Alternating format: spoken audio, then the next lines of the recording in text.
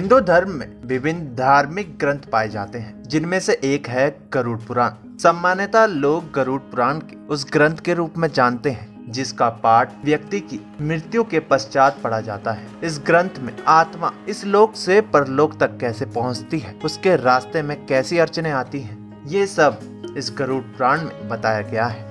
जीवन में कैसे कर्म करने से मृत्यु पश्चात हमारी आत्मा को क्या हासिल होगा? वो स्वर्ग जाएगी या नर्क भोगेगी? या फिर उससे नया जन्म प्राप्त होगा? इसका सारा लेखा जोखा भी इस महान ग्रंथ में शामिल किया गया है। शायद आपको जानकर हैरानी होगी, किंतु जन्म, मरण के रहस्य को उजागर करने वाले महानतम ग्रंथ में स्त्री, पुरुष के संबंधों से जुड़े मुख्य रहस्य भी खोले गए हैं। पुरुष और स्त्री दोनों ही यौन संबंधों को लेकर कैसी रुचि रखते हैं? कैसे कैसे कर्म करते हैं, उसके अनुसार अगले जन्म में उन्हें क्या हासिल होगा, इसके बारे में इस पुराण में पूरी जानकारी दी गई है।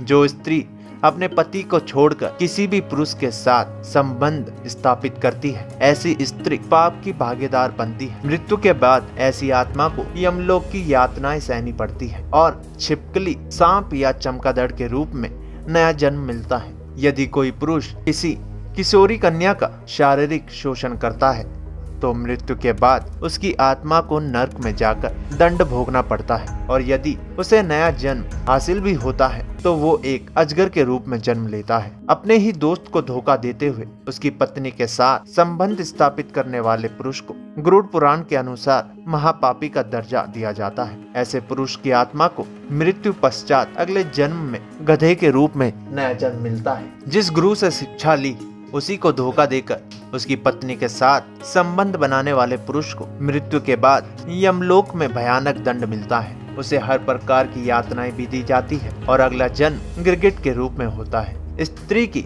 मर्ज़ी के खिलाफ जाकर उसका हरण करने वाला पुरुष गरुड़ पुराण के अनुसार पापी है। ऐसे पुरुष की आत्मा को मृत्यु के बाद परलोक में कष्ट भोगने पड़ते हैं। इसे भ्रा राक्षस के रूप में जन्म मिलता है। ब्रहा, राक्षस एक अदृश्य प्रजाति होती है, जो किसी को दिखाई नहीं देती। किसी स्त्री के दामन पर कीचड़ उछालने वाला या भरी सभा में उसका अपमान करने वाला व्यक्ति गरुड़ पुराण के अनुसार अगले जन्म में नपुंसक बनता है। अगर आपको हमारी जानकारी अच्छी लगी हो तो हमारे कमेंट सेक्शन में जाकर इसके बारे में हमें राय ज़रूर दें।